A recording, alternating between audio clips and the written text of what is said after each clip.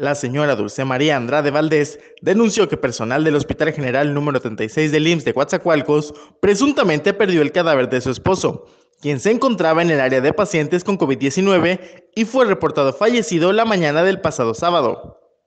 Dulce María detalló que su esposo Ángel Lucas Rueda, de 42 años de edad, ingresó a dicho hospital el pasado lunes 29 de junio por una neumonía y la mañana del sábado le pidieron un medicamento que no pudo conseguir en la farmacia y a las 11.30 horas le notificaron que su esposo había muerto.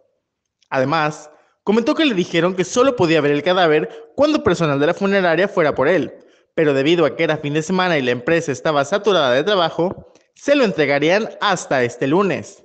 Sin embargo, este lunes cuando entró a la morgue del hospital, le mostraron el cuerpo de otro hombre llamado Ángel Guillén, quien no es su esposo.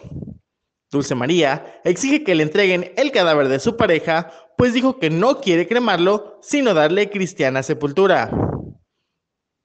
Informó para Abacom, Alex García.